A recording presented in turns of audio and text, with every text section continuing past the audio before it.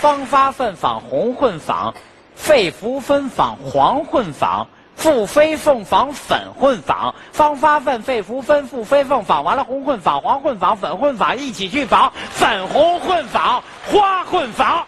说这个，方发愤魏公存哪儿不是魏公存，方发愤费呀方发愤费子分，嗨，不是费费费福啊！方发愤啊，费福。这是我呀，就是说了单口相声得了奖之后，电视台找我做节目，你知道吗？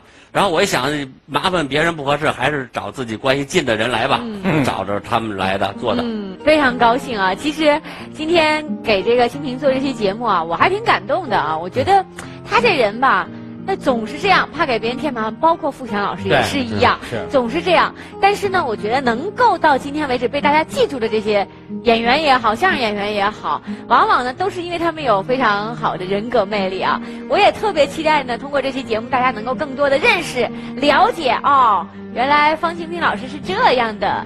原来呢是不愿意跟别人分钱的，原来呢是曾瑞老师的媳妇儿给介绍了个对象的，嗯原来是准备马上要当爹的，是吧？嗯对对对我们衷心的祝贺你，祝福你啊！好你有那好消息告诉我们，我们也去喝个喜酒什么的啊，好嘞，好嘞，好。孩子的房间可以什么都不挂，但是一定不能少了四张这样的地图。它能激发孩子的学习兴趣，打开孩子看世界的双眼。它就是世界地图和中国地图，当然还少不了另外两张儿童知识地图——中国地图，加深孩子对国家各个地区风土人情和人文特征的了解。世界地图呢，让孩子足不出户就能看到非洲的金字塔、澳洲的袋鼠、南极洲的企鹅，超多的新奇事物。知识地图让孩子对世界的地理、历史发展更深入的了解，这些都能增加孩子的知识面，孩子一眼就能记住。地理学好了，语文、历史的成绩自然也都上来了。